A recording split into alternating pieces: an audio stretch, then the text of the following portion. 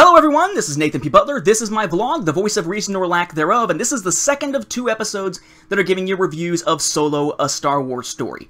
In the last episode, we did a spoiler-free review, general thoughts about our experience going to see it, a little bit about the 3D process and uh, whether it worked for this film or not, um, general thoughts about the film overall, and particular thoughts on specific performances within the film. Okay, so that's ground I'm not going to retread here. I was able to take notes on my second viewing of the film, which means I've got a lot of specific things to talk about, especially because I cross-referenced some of it with the Solo official guide to look up some stuff I was curious about and might be providing some of that information here. So we got a long episode ahead as a spoiler-filled look this time at Solo, a Star Wars story. But I would say that to get the full picture of my thoughts on the film, you're going to want to check out the last episode for the spoiler-free part with about performances and general thoughts, and then check out this one.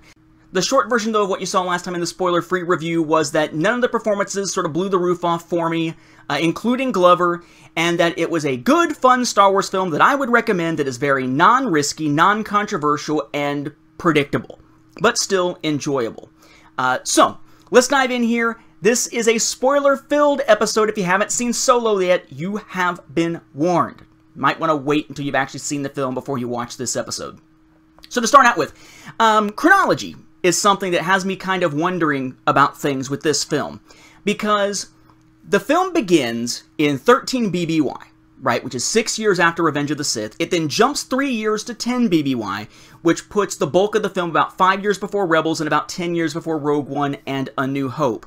Um, and we know this in part because Chewie is said to be 190, whereas he's 200 in A New Hope, which would pin it down as 10 years before. But that could have been, you know, something that was estimated or something that was rounded. But then we got the official guide that dates everything from the Kessel run at the end of the film or near the end of the film and dates it backwards from there as BTR, or excuse me, uh, BKR, before Kessel run dates. And when you look at that, you know, it puts the events at the beginning of the film three years prior to that. It puts you know, if you go back and look at it, uh, puts uh, the beginning of the Clone Wars 12 years before the Kessel Run, so of course that also pins it down as 10 BBY and so on. But it leaves me kind of wondering whether they've screwed up something on Han's age. Because in Legends, Han was always said to be 29 years old in A New Hope.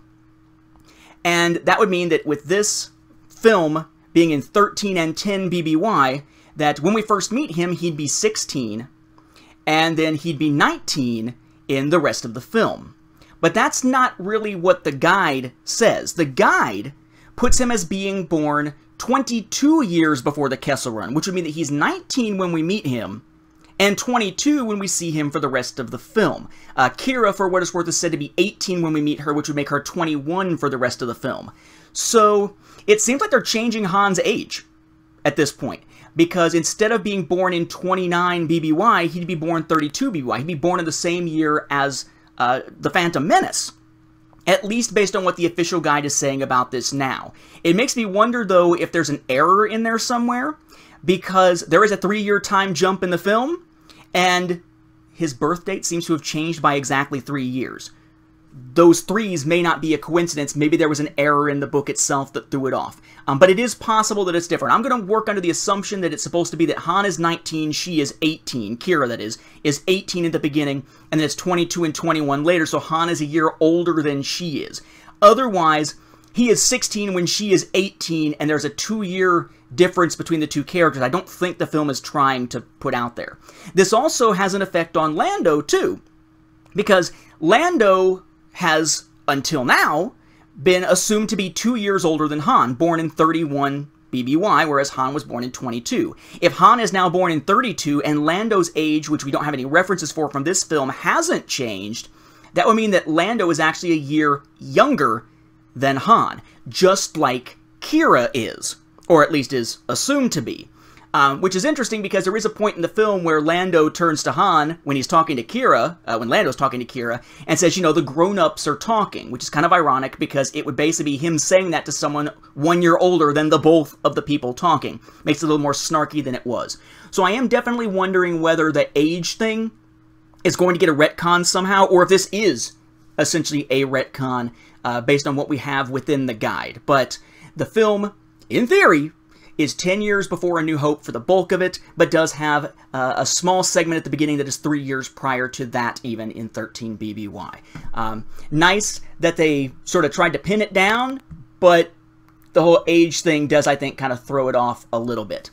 Uh, I said before in the previous episode that this is a very predictable film. It's basically a film about a young criminal wanting to join a criminal crew, a heist gone wrong that has to be made up to the bigger bosses, um, which seems to be a running theme, by the way. There's a lot of screwing up in this film and then having to make up for it to the point that it's kind of a theme for the film.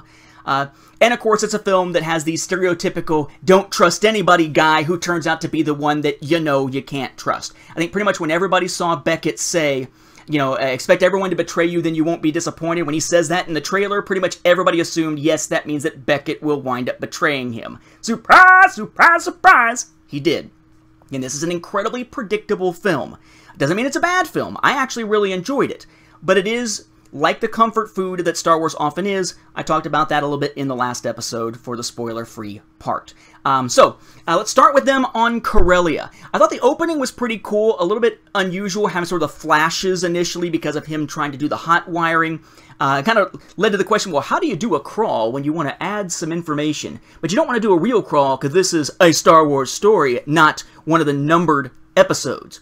How do you do it? Well, you do it basically like a cross between the Clone Wars way of the fading text and an opening crawl in that you have a lot of text that has to, you know, fade in and out before you actually start the film.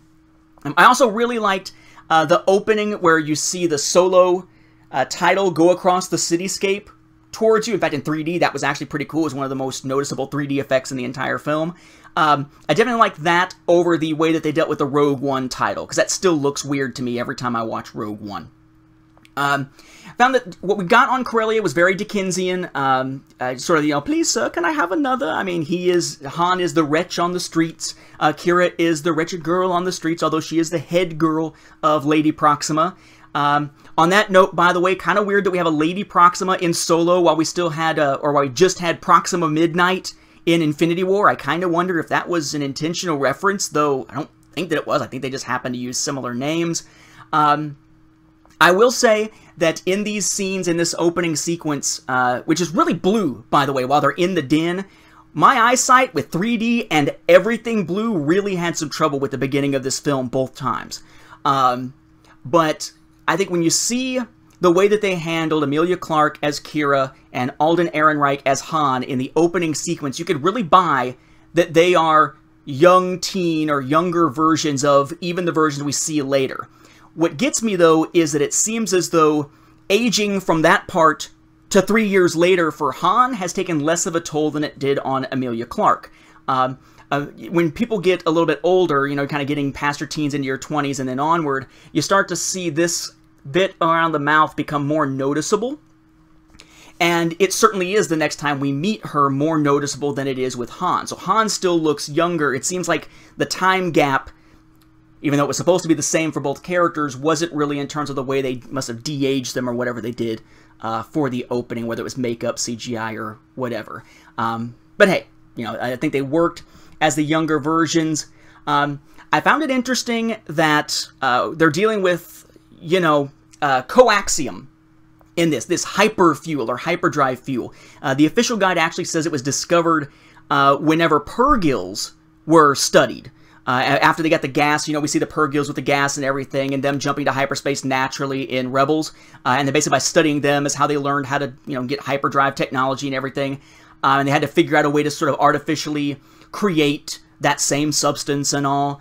But I find it kind of funny because they're introducing this as a major plot point at this point in the timeline, whereas in The Last Jedi, hyperfuel was a big deal, and people were bitching like crazy about how, oh, all of a sudden fuel matters in Star Wars. That's a load of crap. It's all contrived. And yet here's this film dealing with the same concept or same substance, which makes me wonder if those two were planned in conjunction. Um, because now, having seen Solo, you know, what happens in Last Jedi with fuel is not as shocking of a thing, even though it's not heavily mentioned anywhere um, prior to that, at least not in, in great depth. That said, I was very confused at the very beginning on first seeing it um, because when uh, Han gets back to Qi'ra inside the den and shows that he still kept one of the containers, uh, it really sounds like Qi'ra says, says uh, you held on to one of the files, not vials, files, like information. So when they go and try to bribe their way through the checkpoint, I'm thinking he's trying to bribe with information and starts talking about hyperfuel, and I'm like, what the hell is going on? Initially. Um, apparently, she just did not enunciate the vials enough. Um, let's see, other stuff about Corellia. I loved the thermal detonator gag. He pulls out the rock, and I'm like, he just pull out a detonator? But then when he clicks with his mouth and the fact she calls him on it, that was hilarious to me. It's just the kind of ballsy, stupid thing that a young Han you could imagine doing. Um, I think that um, uh, we, we, had an unintentional reference here um, that uh, goes back to Aladdin, right? Because uh, it's the childhood on Corellia together that is why Qi'ra knows that Han uh, is sort of a good guy, as she'll talk about later, or, or as she might have put it if it was more Disneyfied, right? Riff raff, street rat, I don't buy that. About Han, um, that she doesn't buy that. Um, Han's costume on Corellia I thought was pretty cool. I think it reminds me very much of one of my favorite Luke costumes from the early Marvel comics, which is kind of surprising.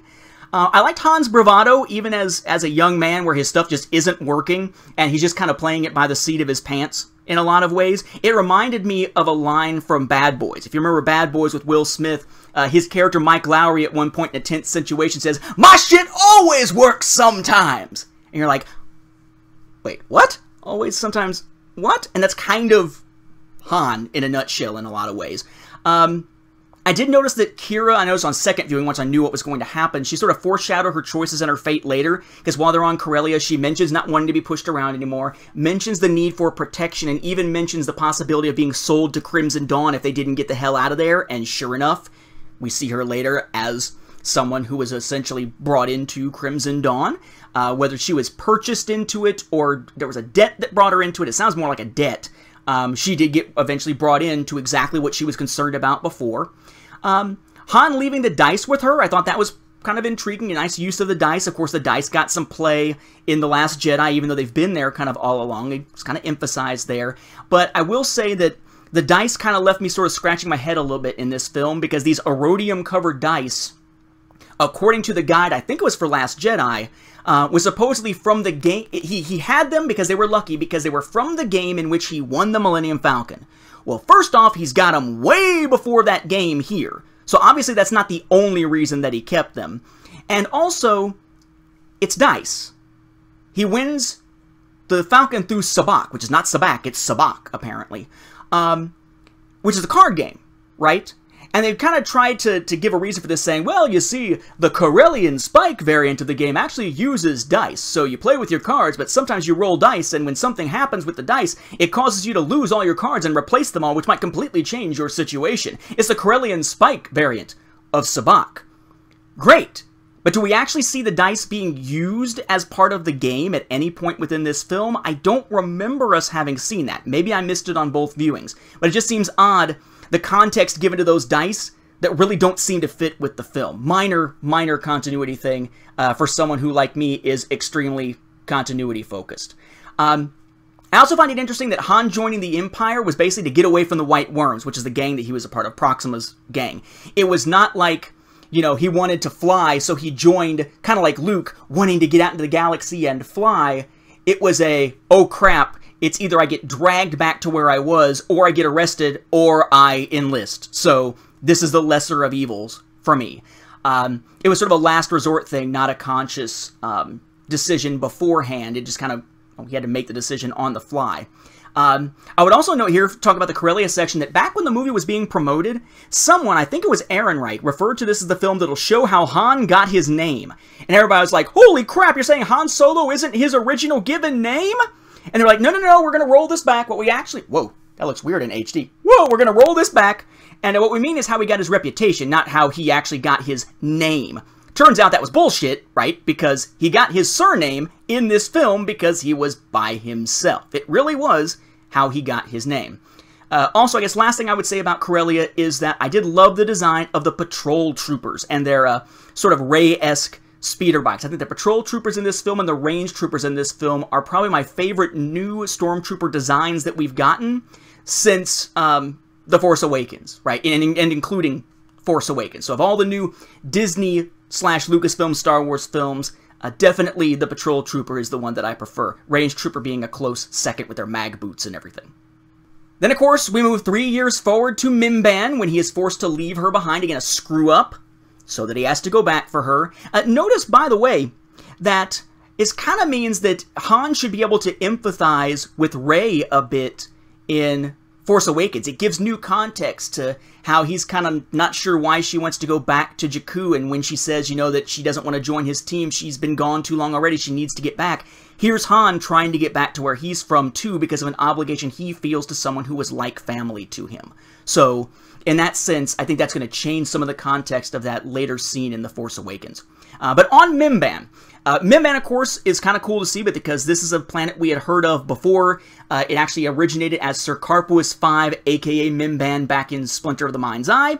Um, that system is given more detail in the official guide, mentions uh, Gindine and, and whatnot, all from Splinter of the Mind's Eye back in 1978. In fact, a lot of the Del Rey, the early Del Rey Star Wars novels get some play. There's a lot of references made to Lando both in the guide and in the film, to events in the uh, Lando Calrissian Adventures novels by L. Neil Smith. And uh, the guide even talks about how, you know, when he's talking about recording these Calrissian chronicles, that uh, he actually thinks he might have a trilogy in him if publishers like the first one. And of course, it was a trilogy. Um, Let's see. Uh, interesting that the uh, ship that they're there on Mimban to steal and use in the train heist on Vandor is an AT hauler. Does everything have an AT in front of it? Is this an armored troop hauler? An armored transport hauler? Do you need to call it a hauler if it's already called a transport? Why the AT? Uh, let's see. Uh, I did find it interesting that, you know, Han is the one standing up saying, you know, well, you know, it's their planet. We're the hostiles right? Uh, he has an inherent morality, even if in this case it's just being it's it's him being snarky and insubordinate because he's sick of being there. You know, it's still an inherent morality within the character that fits with what Qi'ra knows of him, what we will eventually see of him as this smuggler with the heart of gold or scoundrel with the heart of gold. That the heart of gold is already there in essence, but it's going to take a while before he can find it for himself. Uh, take a decade at least um, before he's able to find it for himself. Um, uh, let's see. It's interesting that Han as a deserter has sort of changed because remember the original Legends version of the story was that Han was an Imperial officer, right? He signed up. Um, he was a good Imperial officer, but kind of insubordinate, but eventually sees Wookiees, including Chewbacca, enslaved and speaks out about it and is willing to stand up to uh, Niklas to basically save them, including Chewbacca, and that's how he winds up deserting and becoming a smuggler with Chewbacca at his side and where the life debt comes from and everything. And here we get something a little bit different. Is he a deserter? Not yet. He gets, you know, he's kind of thinking of deserting, obviously, but Beckett just calls him a deserter. Kind of true, kind of not, right? Lucas Wolenczak from seaQuest, right? Tell the truth, except the part that really matters is the easiest way to lie and it winds up being thrown in with the Beast, which turns out to be Chewie, and they work together so that he and Chewie can escape. And it winds up being actually Chewie being needed for the crew more than Han that actually gets them the heck off the planet. So kind of a different perspective uh, on that, but still mild echoes of what we've seen before a little bit. Um, but thank God the beast he, that they threw Han to was Chewie. As soon as they said throw into the beast, I'm like, son of a bitch. It's another stupid ass CGI monster like the freaking Rathtars or Bor, Bor Gullet. They just can't freaking help themselves. And no, it turned out to be Chewie. The CGI monster idiocy got to come later and wound up at least fitting into the idea of the Maw instead of being as out of place as the Rathtars or Bor Gullet had been. Uh, so cool to see, and it's a really uh, heavier physicality in this film from both Chewie and Han than what we've seen before. Um, and uh, and Chewbacca looks right when he's wet, when his fur is matted and stuff. I think this is definitely the standout film for Chewie, uh, bar none, thus far, uh, for the character here. I was kind of surprised that Han could speak some uh, uh, Shyriiwook, right, some Wookiee language, because he certainly doesn't do so anytime else that we've ever seen. Um, I mean, it makes sense that he would, and how else would he really communicate back and forth with Chewbacca early on? But really. And then again, Chewbacca does seem to speak basic, so who did he really need to speak the language? Maybe just speaking the language is a way of getting Chewie's attention, like, oh, wait, wait, this guy's speaking my language, as opposed to speaking basic. But obviously, Chewie understands basic throughout the rest of the film and the rest of the, the uh, saga. Uh, and I guess the last thing that I would note here about Mimban, um, I guess two things. One, it's kind of cool that the troopers that they're with are basically designed to be sort of a later version of the mud troopers or the mud jumpers that we got back in the Clone Wars. So that's a cool evolution of a concept. Um, and holy crap, we got a shower scene in a Star Wars film. and it wound up being kind of weird, right? Because Han is showering and Chewie just comes on in to share the shower with him. Sure, why not? A little odd, but you know, we now have a shower scene in Star Wars, just like now we've seen a refresher on film and so on. Um, of course, then they go to Vandor, uh, which is another of these planets that we've seen before. It was in uh, the Wizards of the Coast uh, RPG, but it was a planet that was part of the Coruscant system, if I remember correctly. So they seem to have sort of changed it up at least a little bit here to give us this snowy world of Vandor. Um, but when they're all sitting around sort of talking right after they get there before, you know, they're scoping stuff out for the job and everything, at least I think before they're scoping out for the job, um, it's interesting that we learned that Beckett is from uh, Glee Anselm, which was Kit Fisto's homeworld, which is odd. Uh, we learned that he's romantically linked to uh, Thandie Newton's Val character, who is a decent character but doesn't really get much chance to shine. Uh, kind of does her thing and then dies, right? Um, but I find it interesting that he's romantically involved with Val. And he's constantly talking about when he get back to his home world, so that, and it is confirmed as his home world in the guide. Uh, it's not just he wants to go to Glee Anselm to, you know, relax or something. It is his home world. That he wants to go back and learn to play the Valachord. Val and Valachord. Is there a connection there? Was that intentional? I don't know, but it struck me. Um, I do think the connection between them felt very organic in the film. It wasn't really forced on you. Um, had sort of that great moment of just like, you know, an old guy's like this, and then she kisses him. It felt very organic how we learned about it, how they reacted to each other. Um, that worked very well. But you know what? If you're gonna do that, if you're gonna put the shotgun on the wall, right, you better use it later. The fact that here they are, they're emphasizing the fact that they are together to give us that bond of that team. And then when she finally dies, Beckett's like, no! And then for the rest of the movie, he's like, that's cool. That's all right. Sucks, but that's alright. Um, either he's compartmentalizing very well and hiding his grief, or it didn't impact him nearly enough as it should have if this was the person he was actually in a real uh, romantic relationship with. Unless it's just them, you know, kissing because, hey, we're on the road all the time and, you know, he's a guy, she's a woman, and, you know, sometimes things happen and it just kind of keeps going. Uh, whether they were friends with benefits or in an actual relationship, you know, it seems like it was an actual relationship, but if so, he probably should have reacted more strongly. Um, I mean, Rio, we spent more time with. Rio Durant, we spent more time with, uh, and it was more fun in the film, so at least there's a little bit of emotional impact for us when he died. But for Val, I don't think we got much of an impact because we didn't know her much. It was more like expecting the impact on Beckett, and then Beckett didn't really have as much of a reaction after the initial scene. Um, like it wasn't really carrying it with him throughout the film. At least it doesn't seem so. Uh, interesting that we learn on that on Vandor during that scene that basically the DL-44 that Han uses all the time, it's his classic blaster, actually started as sort of a field rifle, but you take all the field rifle parts off and you just have the blaster left, and it was actually something uh, owned at one point, presumably by Beckett uh, or at least by Beckett's team. I'm assuming it was his when he handed it to Han, not somebody else's he was taking apart. Uh, we learned that Chewie's family was among slaves taken from Kashyyyk that he's searching for, but this kind of means that either he never finds them, because he's still searching for his family in the Aftermath books, or he finds them and then they're lost again. And then he's searching for them a second time. So it'll be interesting to see how they develop the whole issue of where his family is um, at any point. Maybe we'll get a new holiday special that reintroduces his family and uh, and how uh, Chewie's dad is into uh, virtual porn. Uh, watch the holiday special. I swear that's what that is. Uh, softcore, but he certainly is.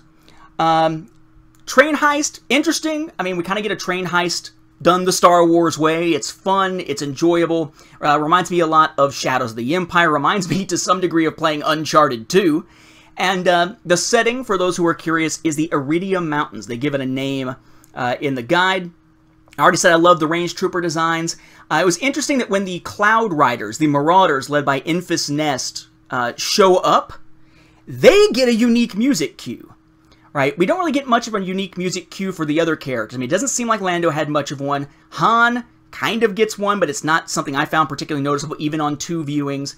And then Beckett kind of gets one. He gets, with him wanting to play the Valachord, some, you know, chord, you know, uh, uh, string-based music as he's dying later. But really, the only standout music that really, you know, you can link to a group or a character to me seemed to be the music for the Cloud Riders. Not great music, but unique music at least. Um, I was surprised at how fast uh, Rio, like I said, who was fun, and Val, who's you know didn't have much impact on me because we didn't really know her very well, uh, how fast they died. But I guess that's why they aren't seen elsewhere in the trailers. Maybe we should have put those together. Uh, after the mission, uh, the rationale for Beckett's line about Han being in that life for good struck me. Because in the trailers, you know, he's like, you come with me, you're in this life for good. And you're thinking it's just like the criminal being like, yeah, do you really want to get into this? But no, I mean, he's trying to protect Han. You go with me, they're gonna see your face. So whether you like it or not, you are stuck in this. Think about this before you do it. It's a protectiveness of Han, which may be a protectiveness that otherwise he might not have enacted had it not been for the fact that he just saw two members of his team die. Um, but interesting that it has that context that I didn't expect. I did find it very convenient early on on the first viewing that Dryden Voss's first light, his yacht, was on Vandor just like where the job was. Uh, and, and then Lando will be too. But I guess if it's a space yacht, maybe he brought it to the planet to be closer to them when the job was done to get the stolen coaxium. Maybe that's why he was there. Um, but it's kind of odd. I did find it interesting that when we meet him, isn't he supposed to be meeting with the local governor and he killed the governor? So is that the Imperial governor, the Moff of the sector? Because if so, then that would be Bin Essada from Splinter of the Mind's Eye, who is named again in canon within the official guide. Um, don't know, hard to say. Um, when we do go aboard the yacht, we start out with that musical duet that we saw, of course, in the trailer. And I gotta say that the musical duet wasn't nearly as jarring to me still as the new version of Jedi Rocks is. It was still kind of odd, but no, it was odd in the same way that like the music at Maz's castle was, but it still wasn't as jarring as Jedi Rocks was. Interestingly, the names of those characters are uh, uh, Aurodia Ventafoli and Luelo or Lulio Primock, which means nothing to me, but Aurodia, the singer, the, the woman, is said to be the Chanteuse of the Stars in the official guide, which is another reference back to the original Marvel comics from the 70s and 80s, which I thought was kind of cool. Um, I did find it a little too convenient that Lando was there too. I mean, sure, the yacht may have showed up to get the end of the job handoff done more quickly, but why the hell is Lando there? That's very convenient. Unless it's not that she knew of Lando and he was conveniently there when she said she knows a guy, so much as when they're like, you know, we need a ship, and they're asking if she knows someone, she's thinking specifically about people who would be local. In which case, it makes perfect sense she would go to Lando and for him to be there because it wasn't just a coincidence he was there, specifically, she was looking for a local. Hard to say on that one. Uh, I know that in Dryden's office, a lot of people were freaking out because they saw the Mandalorian armor and thought that that meant Boba Fett would be in it. Uh, of course, he was not. That is a Republic or an old Republic era Rally Master Mandalorian armor piece, according to the official guide. Um, let's see. Uh, character uh, details. We learn from Qi'ra that Lando has a prodigious. What? You know what? Never mind. I don't want to know. L3 might, but I don't want to know. Um, also, it's kind of interesting that Lando, if, you know, again, he'd be 21 in this film if his Legends birth date still holds true. But he's old enough to be retired? That was a pretty quick career. Uh, maybe smuggling is a young man's game. Um, but then again, he did sort of possibly just sort of switch careers here because now he sort of considers himself, you know, a sportsman or a gamer uh, in the uh, card game and gambling sort of way. But sure, whatever. Maybe it's just me. It did sound like Lando was making a The Spy Who Loved Me kind of joke, a James Bondish joke when we first meet him, which is kind of interesting because he's sort of a James Bondy type, you know, suave character.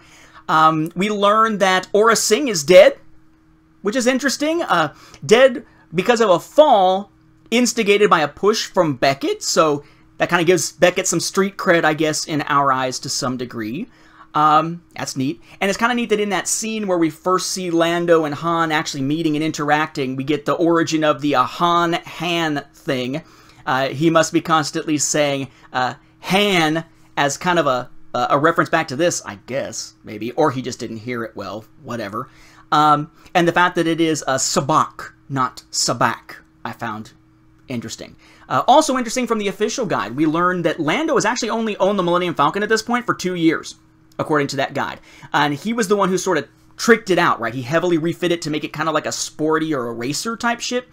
Uh, he says in the film that he added the escape pod, which is really only there to make it look weird, freak out people who are going to be seeing the film into wondering what the hell it is, and to be used as monster food later. Um, but he also added the uh, alluvial dampers that we find out about, of course, in The Empire Strikes Back, I believe. Uh, and he added, of course, because it's Lando, a wet bar. Absolutely. I found the fact that Lando was a cheat kind of. It's in keeping with his character, but also a surprise. I always thought that he was kind of a smarmy guy and a slit guy and a suave guy who probably would cheat, perhaps, but that he actually had skill enough with cards that he didn't need to cheat. So to find out that he actually is a cheat was kind of disappointing and surprising, but kind of fit the character. Um, we meet L3 uh, on Vandor, and L3, it's funny because this is the film that will be the least offensive to the people out there who are like anti-social justice warrior, the anti-SJW crowd, um, who say Disney has been making Star Wars films too diverse, focusing too much on women and non-white characters and all the, the bad guys tend to be white guys and all this kind of stuff. And in this case, the bad guy still is a white guy. Um, but the film itself, I mean, of the four main characters, right, three are white, three are men. Um, so it's not like this is a film that is heavily diverse. And yet, like, as if to balance that out, L3 is like the Star Wars equivalent of the extreme social justice warrior. Um, like, she is everything she says and everything she does is specifically about the justice cause and the equality cause that she specifically has and she just runs with it all the time. Um, and for some people, it's interesting. Like, some people are like, this really rubs me the wrong way about this character. I find that it's a defining, interesting thing about the character that makes the character consistent throughout the film, unique amongst some of the Star Wars um, droid characters we've seen before, and to me, adds some moments for some funny bits and her to instigate that rebellion later, that prison break later. Uh, she didn't really rub me the wrong way at all. I thought she was pretty decent. I thought she was a decent character. Um, but I know a lot of people have been like, oh, I can't stand L3. And these are people who are from either side of the political spectrum. So it doesn't seem to be a, you know, L3 as social justice warrior type of criticism or lack thereof. It's just, I guess she rubbed a lot of people the wrong way and didn't really rub me the wrong way. Uh, although the whole performance anxiety, you know, I can't do it when you watch thing, I thought was kind of stupid. But that the the line about uh, why because you're my organic overlord, I thought that was funny. And the the very casual, you know, Lando walking out, you need anything? She's like equal rights, cracked me up because um, of his reaction of like, damn it, I walked right into that one. It's a funny moment. Um, it's an interesting new character. Also interesting that the uh, mean man whose face she grabs, uh, that that very recognizable actor now, uh, whose face she grabs, um, is Rallakilly, right? Like Malakili, the Rancor Keeper. But uh, thought that was kind of an interesting uh, naming choice. I also found it interesting that Han references his dad and memories of his dad working at the YT1300 plant uh, before he wound up you know, separated, I guess, from his dad, or his dad died, or whatever happened, uh, and the reference from Lando to his mom. And in a lot of ways, you can sort of look at Han and Lando, and if you were having to pick which one would be more influenced growing up by a mother or a father, I think that's exactly how you would have paired them up. Han more influenced by his father, Lando more influenced by his mother. At least it seems to me uh, that that would probably be what you would expect. Um, it did take me a second to realize that Lando's a, Lando's lying at one point here, where he talks about how you know you know, uh, I, I care about my ship so much that I keep it locked up for safekeeping, etc., etc. It didn't strike me until a second viewing that that wasn't that he was saying it, and then they surprisingly find that it's booted, basically, and he can't leave. He's full of crap. It's impounded. He didn't lock it up. It was taken and locked up. And he basically is now trying to get Beckett and Chewie to help free it up. So part of him getting into the job at all was to free up his own ship. I thought that was was uh, interesting uh, the line about trusting no one, of course, as they're getting ready to go about, uh, you know, trust no one, uh, expect everyone to betray you. Uh, you'll never be disappointed. I thought that was pretty clearly going to be signaling that Beckett was going to betray him later. It's what happens in every film where that kind of line is dropped, and sure enough, it wound up happening. Um, but there was another line in this segment of the film, the Vandor segment, um, that I really liked. and it kind of to me epitomizes the way that I and a lot of more rational Star Wars fans look at people um, who are who have who have very different opinions. Uh, the Lando line is, "I don't like it, I don't agree with it, but I accept it." Right? You don't have to agree with something to accept that it is someone else's perspective. I thought that was pretty good. So of course, then they go on their mission to Kessel. Cool to see Kessel. Very cool to see the Maw. I mean, Kessel's been referenced all the way back to the original film. Uh, the Maw, of course, was a Legends concept that now we get to see uh, here on screen, carried over into canon. Uh, we got to see basically that Lando already had, or somebody already had, the armor that Lando would use in Return of the Jedi. It was from this job, so maybe not taken from Tamtel Skreej, or maybe Tamtel Skreej is just the name that he now goes under when he's undercover. Um, but it's been around for a while, apparently. Um, there were references to how Kessel is controlled by the Pikes, but on first viewing, I never put the leader guy's mask on Kessel. Uh, uh, Quay Tolsite is the guy's name. I never put that together that that was a Pike mask based on the way that we'd seen the Pikes back in the Clone Wars. But sure enough, that's actually what that was supposed to be. Um, uh, let's see, there's a reference to the Calrissian Chronicles. I already mentioned that. Lots of sort of randomized notes here. Uh, one bad thing about trying to take the notes when you're sitting there trying to watch it uh, is that sometimes my finger would tap the wrong spot on the iPhone, and all of a sudden the notes are like in a completely different place than chronological order.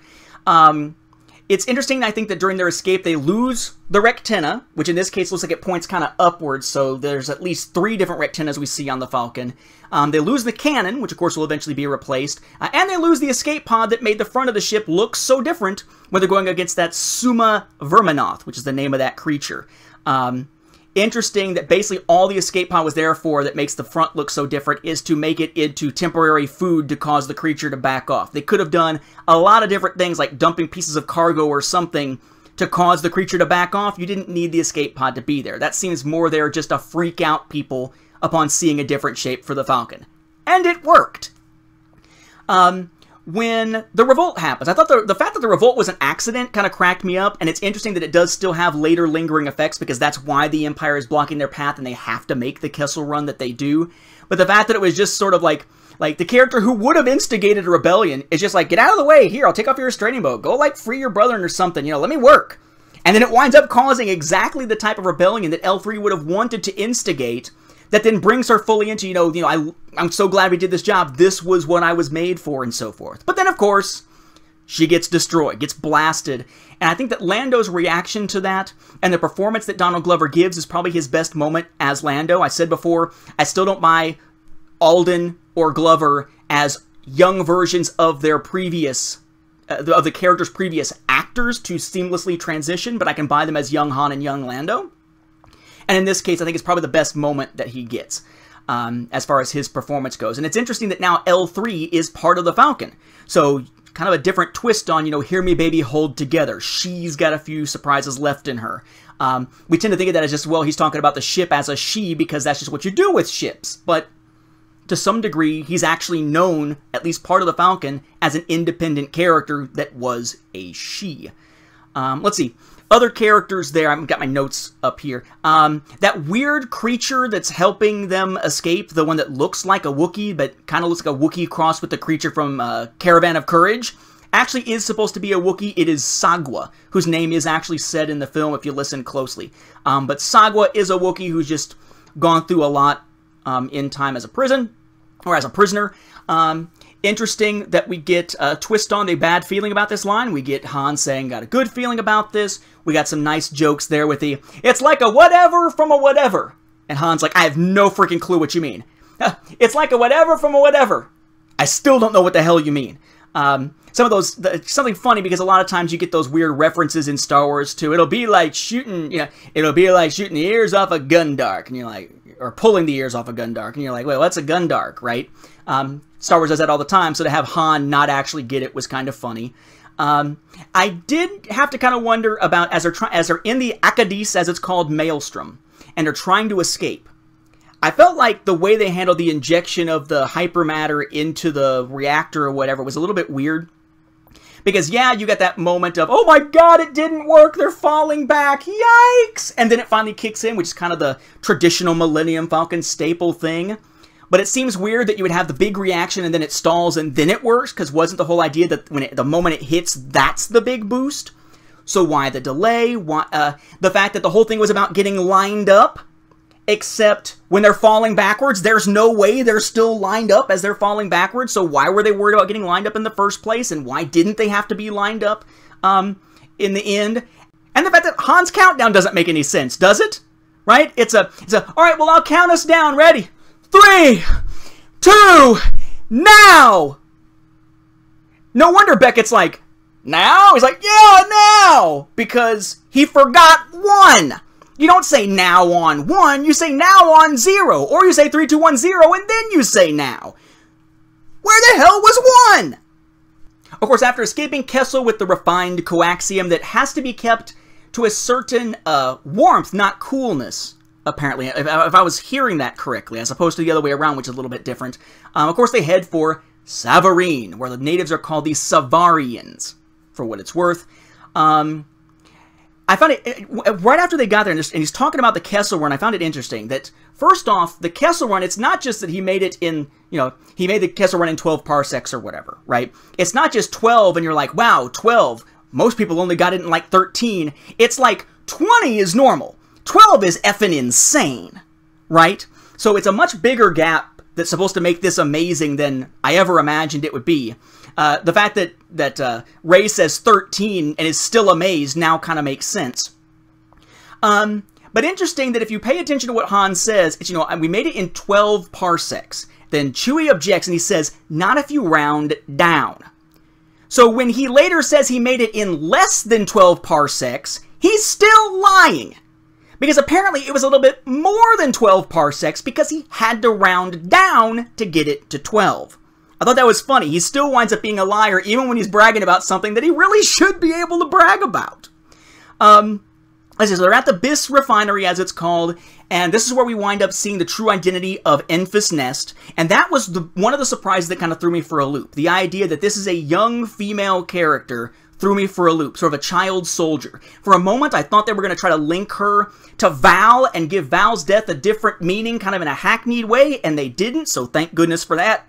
Kind of interesting that she is sort of on the ground floor of a rebel uh, uprising type of concept that will eventually wind up finding its way, presumably in linking with the other rebel cells that we see later to become the official rebellion and such. But kind of an interesting thing. Uh, it puts the rebellion, even before there is an official rebellion, sort of in Han's face where he has to sort of make a decision of supporting it or not, which I think worked. And it really kind of changes things up because all of a sudden the people we thought were sort of the secondary group of bad guys are actually sort of more heroic in a lot of ways than our main characters are. It helps draw that line of where Han and his crew, the other members of the crew like Beckett and so on, fit within the grand scheme of that gray area in Star Wars. It, puts a nice emphasis on that, which I thought was a good twist. Um, let's see. Uh, this is where, of course, we get that that moment of uh, I may be the only one in the universe who knows, or galaxy or whatever, who knows what you really are. And of all the things she would have said, I never expected what she said to be you're the good guy, right? And wow, that kind of hit me emotionally for a second there. Um, I find that that is so perfectly in keeping with Han, right? Han is a guy who is a good guy at heart and is doing everything he can desperately to try not to reveal that, to try not to acknowledge it to himself and to others. Um, he wants to be the scoundrel. He wants to be the criminal. He wants to be the outlaw, but at heart, he's not. Um, it to me makes his change of heart in A New Hope all the more believable that even now the people who know him best see him as the good guy underneath, whether he recognizes it or not. I thought that was fantastic. Um, we get the reference to, uh, you know, big time gangsta putting together a crew. I thought that was going to be basically the setup for the mission that we get early on in the train heist, and turns out no, that was a reference to Jabba. Um, presumably, though, this will not wind up being the job that causes Han to drop Spice and get the bounty on his head. Hopefully, because there's a 10 year gap still here going on, but that is where they head at the end of the film, so to an extent, they sort of checked off that box without necessarily heavily checking off that box, at least I hope so. Um, I did find the betrayal interesting and kind of a fake out. The fact that as soon as they realize that their plan is going haywire, um, immediately I think the audience is assuming, I certainly was, that it must have been Qi'ra who gave him up. And to find out that it wasn't Qi'ra, that Qi'ra has betrayed uh, Dryden, Now, for her own reasons, not for the reasons we think, or perhaps for a combination of those reasons. But the fact that she actually wasn't the one betraying them, even though Beckett has been warning him not to trust her all along, and that it is Beckett, the more predictable one, who winds up being the betrayer, that actually kind of threw me a little bit. Um, like I had probably 30 seconds to think, oh, Beckett wasn't the one who was going to betray him. It was Qi'ra. And then it turned out to be Beckett all along, right? That brief misdirection, I think, worked well. Um, uh, the idea of her, you know, saying, you know, she would have to prove loyalty and sacrifice, um, which is what brings the blade into play so she can use it against Dryden later. I thought that worked well. Although I must say that at the point where um, she's like got Han held and she holds it up like this and Dryden's right behind her and she's about to turn on him about him, her being his weakness. You know, it sets up a nice struggle there at the end, a nice action-packed kind of struggle of changing loyalties and everything too. But at that moment, I would have expected her to just swing it down and stab him, right? Pointing it behind her, rather than swinging and giving him a chance to fight back. So I thought that was kind of odd.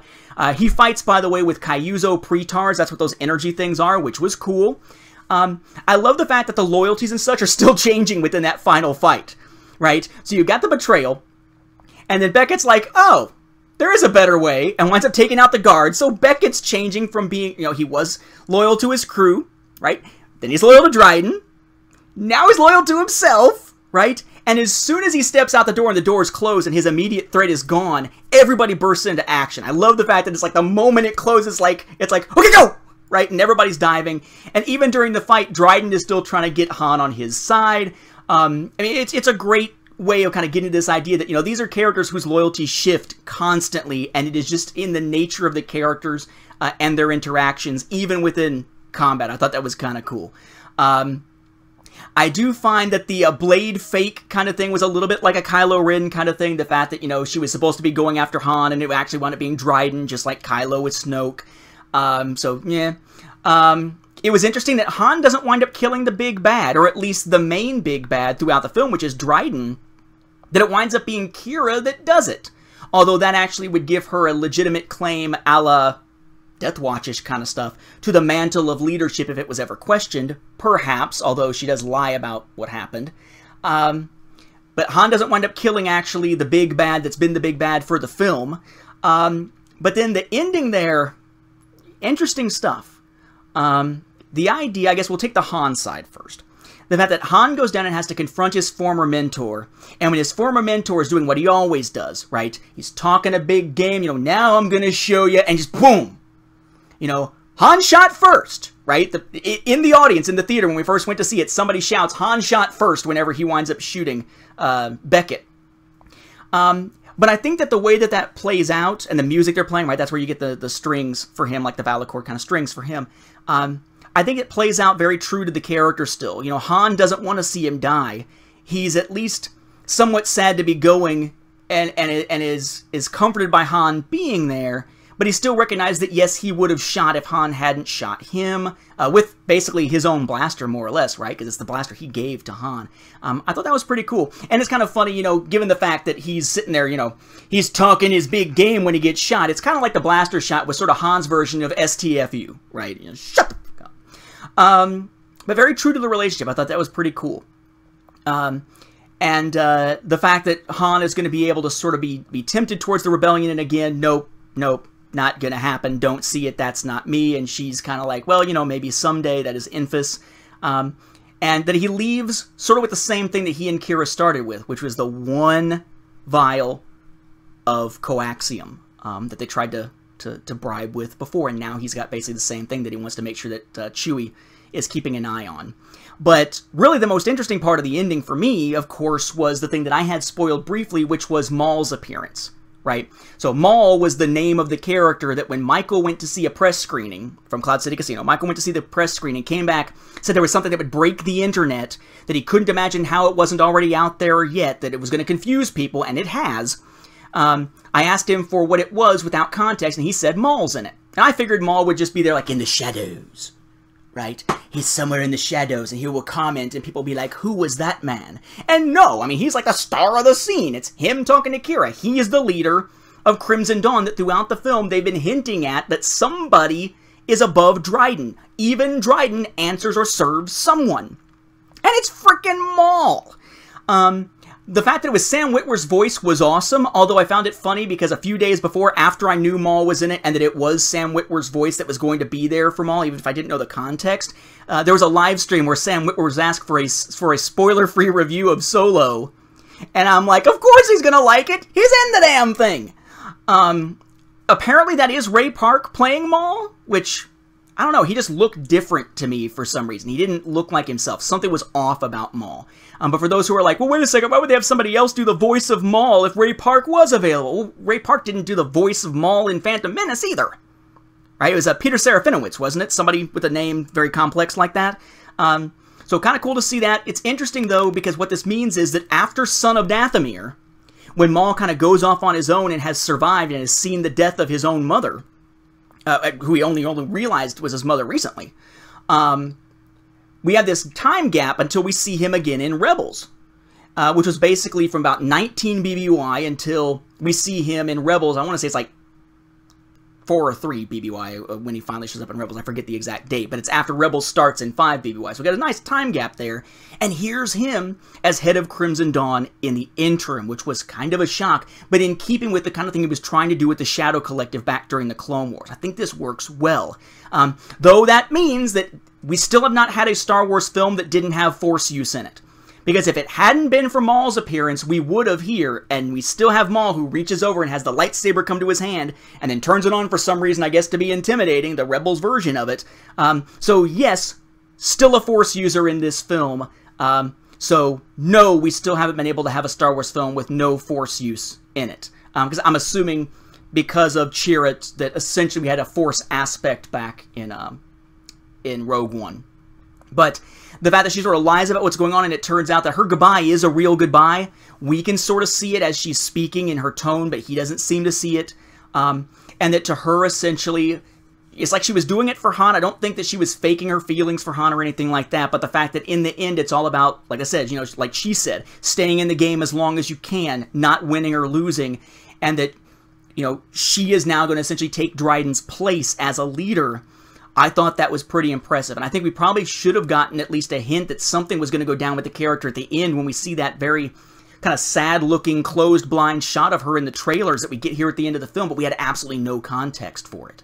Um, but kind of a cool ending for the character. I like the fact that if there are more solo movies, as they are hinting that there will be, as Alden has essentially hinted that there will be, um, we can now have a villain potentially for the next film that has a very personal connection to Han which at the same time allows us to have a villain whose fate we don't know, so that Maul doesn't wind up being a no stakes kind of villain because we already know he's around for Rebels. Although, for those who haven't been following Clone Wars or Rebels, who's only been following the films, Maul's appearance is going to confuse the hell out of them. Um, and that, I think, is something that is causing a lot of reviewers to talk about how this cameo makes no sense. It's stupid. And it's all just there to set up new films. Well, of course, it's there to set up more films. But to say that it's stupid and makes no sense, I think means you don't understand where he was by the end of the Clone Wars and such, and where he is in Rebels, and that he's still out there. The people who are like, I don't understand the timing of this film because he's alive, just don't have that context. And if you have the context, it makes perfect sense, and it's kind of a cool twist rather than something that has you going, what the hell? Although in the theater when we saw it for the first time, when Maul showed up, that was the moment when most of the people on the same row we were in said, what? And like actually reacted verbally to something going on other than the Han shot first kind of line. So kind of cool there. So a lot of cool instances. Uh, it raises some questions for me. Um, it was to some degree a low stakes kind of thing because we knew certain beats had to be hit. We had to see how the Falcon is won. Um, but in that sense, um, it wound up being a fun ride, even if the stakes for all the characters weren't really there, because just like with Clone Wars, we knew what was going to happen with them. Uh, the final sequence, though, the final sequence, I think, uh, adds new context to what we get in The Empire Strikes Back. And the obvious thing, of course, is that that he cheated the first time. Han should have won the Falcon the first time, but he didn't because Lando cheated. And when he saw the thing in Lando's sleeve, he was able to basically take the card so that Lando couldn't cheat. So when he says, hey, you lost it to me fair and square, it's actually true that it was lost fair and square, but that is an emphasis on the fact that he cheated the last time, not just, hey, don't gripe about it, you lost it fair and square. But also, uh, something that a lot of the folks that I've talked to about the film have missed, notice that the moment where he actually steals the card is a mirror of what Lando does in Empire, right? It's Han coming in like, you got a lot of nerve. We did almost didn't get out alive. Blah, blah, blah, blah, blah. And then he sees it. And he's like, just kidding. Hug steal. It's, you got a lot of guts coming here after what you pulled. Fake hug. Just kidding. Which is basically what we get in Empire. So I wonder if Lando is meant to be kind of emulating that as one of the tense times they saw each other, and now here's Lando. There may not even be a, you got a lot of guts coming here after what you pulled. Han may actually literally not know what the hell he's talking about, because he may be saying that to mock Han saying something like that for real in this situation before the fake hug that stole the card. Maybe? Maybe? Or maybe I'm looking too far into things.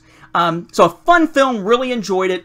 I don't know where it would fit within rankings. Um, very non-risky, very predictable, um, low stakes kind of stuff, non-controversial stuff, but I think it's going to go down as a proof that Disney can make a really good Star Wars film that is comfort food, that doesn't stir the pot all that much, um, and that doesn't have to necessarily break too much of a formula, and that can even sort of go back to before Disney was sort of very focused on uh, uh, casting diversity as well. So in a lot of ways, this was an old-timey Star Wars film, for better or worse. And I think the diversity thing is probably something that is for the better now, the more representation you get, so more fans can see themselves in the films and all that kind of stuff. But in essence, this is an old school Star Wars film. Do I believe, you know, Alden and Glover as Han and Lando? Yes. Do I believe them as younger versions of Harrison Ford and Billy Dee Williams? No. But in the end, it did not wind up detracting from the film for me. It probably only will if I try to watch the films back to back. And that's saying something because that was one of my biggest concerns originally. Uh, with that, I'll wrap up this episode of the vlog here. You know, comment away down below. I'll be responding to them. And uh, uh, if you haven't seen Solo, why the hell did you watch this? Um, but if you're going to go see Solo again, you know, make sure you go out there and enjoy it. Uh, we'll probably see it on home video within about three to four months. That should be interesting. Two big Star Wars home video releases in the same year. But that is for from the Star Wars home video library and for later. So, thank you for watching. May the Force be with you, and uh, enjoy Solo.